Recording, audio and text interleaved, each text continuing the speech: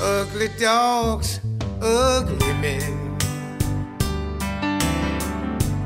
They've got something going for them. Ugly dogs don't bark a lot. And ugly men don't run about. Ugly dogs, ugly men.